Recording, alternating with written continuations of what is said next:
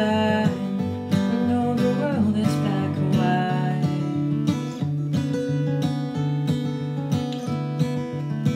Try keep an open mind.